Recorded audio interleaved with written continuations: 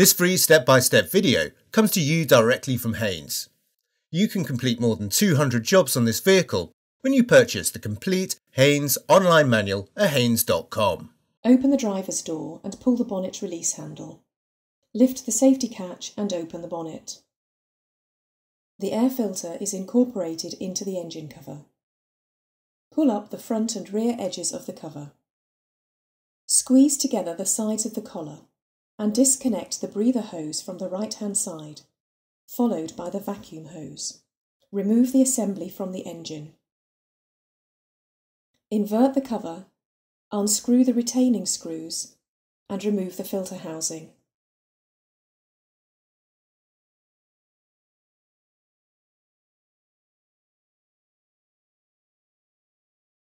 Remove the filter element from the housing. Wipe clean the housing and remove any dirt or debris. Fit the new element into the housing with the rubber seal uppermost. Engage the hinges at the rear of the housing with the lugs in the cover.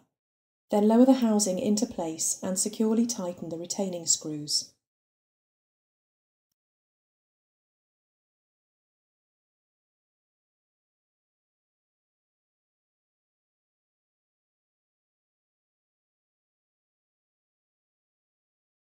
Maneuver the cover into position.